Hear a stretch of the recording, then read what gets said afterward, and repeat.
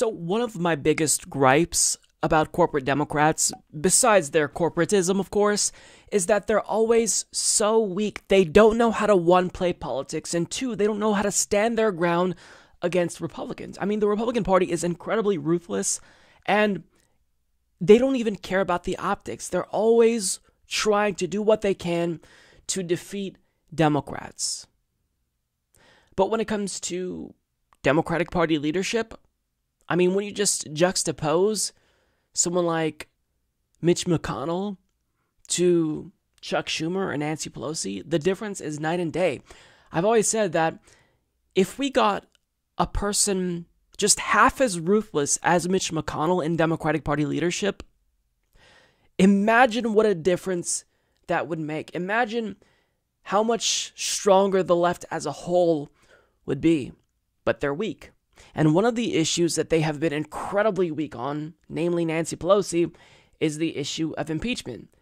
There's a plethora of reasons that you have to open an impeachment inquiry. I mean, in the Mueller report, there are 10 different instances where Trump obstructed justice. He was in violation of the emoluments clause on day one. There's a number of reasons why Donald Trump is breaking the Constitution and should be impeached. But what is Nancy Pelosi doing? She's running scared, predictably, and AOC decided to call out this inherent weakness in the face of potential Republican opposition. So, as Kate Sullivan and Manu Raju of CNN reports, Representative Alexandria Ocasio Cortez said Tuesday it appears Democrats are sitting on their hands when it comes to impeachment, reflecting the unease from an outspoken bloc of members who want Democrats to take a tougher stance against the president. When asked if she was satisfied with House Speaker Nancy Pelosi's approach and opposition to beginning the impeachment process, Ocasio Cortez told CNN, Personally, I am not. I think that an impeachment inquiry is right on our doorstep, the New York Democrat said, adding she is concerned about where the line to begin proceedings has been drawn. If now isn't the time, what is the bar? What is the line that we're waiting to be crossed for an impeachment inquiry? And so far, it doesn't seem like there is one, Ocasio Cortez said. And so, without a clear boundary, it seems as though we're kind of sitting on our hands, she added. So, if now isn't the time, then I think a lot of folks would like to know when is the time. Earlier Tuesday, Pelosi told CNN opening an impeachment inquiry is not off the table as she explained her continued opposition to formally opening the process. I don't think you should impeach for political reasons, and I don't think you should not impeach for political reasons, Pelosi said at the Peter G. Peterson Foundation's Fiscal Summit. Now, just stop for a moment and think about how tone deaf Nancy Pelosi's response is. Quote, I don't think you should impeach for political reasons, and I don't think you should not impeach for political reasons. Nancy, we're not talking about impeaching for political reasons. This isn't about politics. You have to disaggregate politics from the process of impeachment. We're talking about impeachment because Donald Trump broke the law. He's in violation of the emoluments clause right now. So you've got to make a decision here.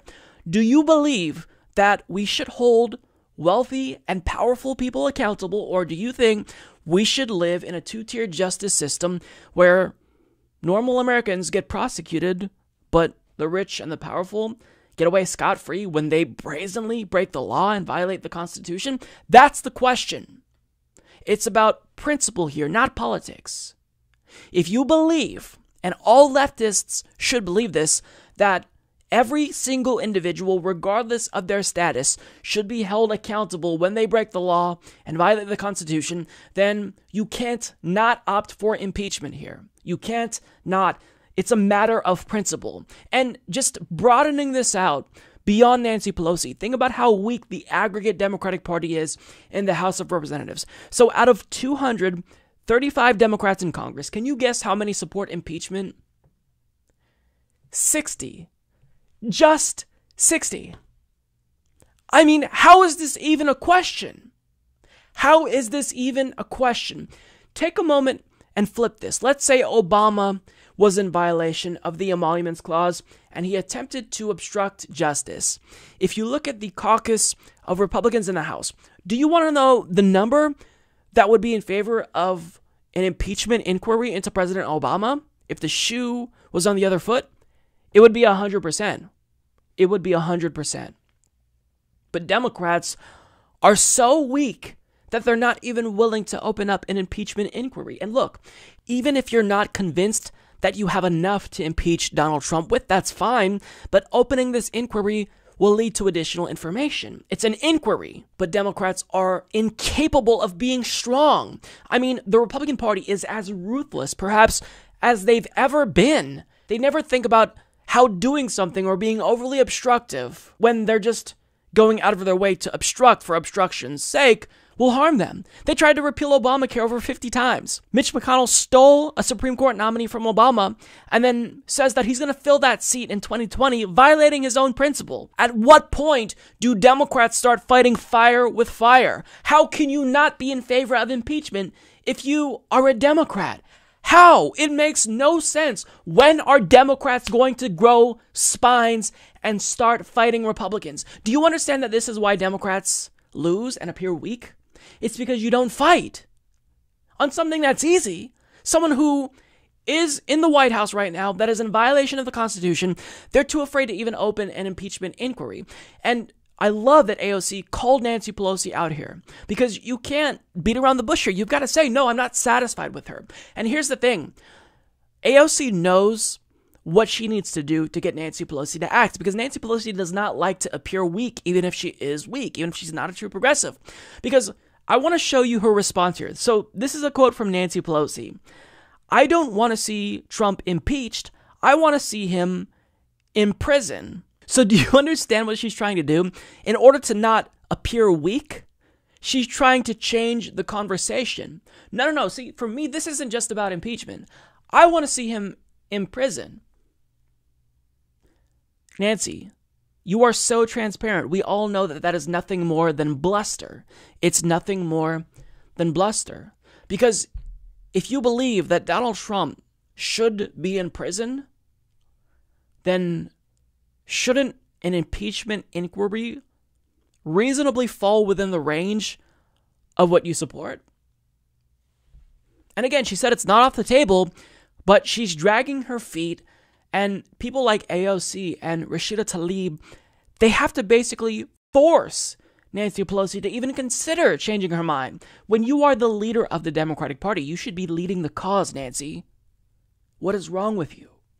So, I don't get how this is debatable. I don't get why we have to put this much pressure on Democrats when, again, if roles were reversed, Republicans would have already started the impeachment proceedings against Barack Obama. They would have already started it.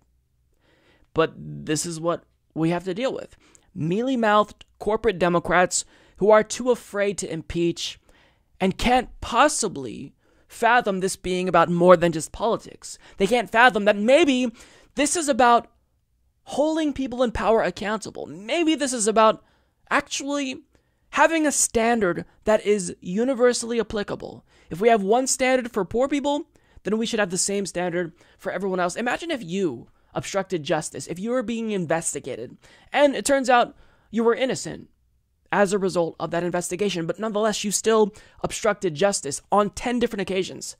You would have already been in jail. So, are we going to give Donald Trump a pass because he's powerful and rich and is the president? I say, fuck no start the impeachment inquiry and impeach the motherfucker. This is not a difficult issue. This is not a difficult issue. Impeach the motherfucker. Mike is a total loser, so don't hit the subscribe button, okay?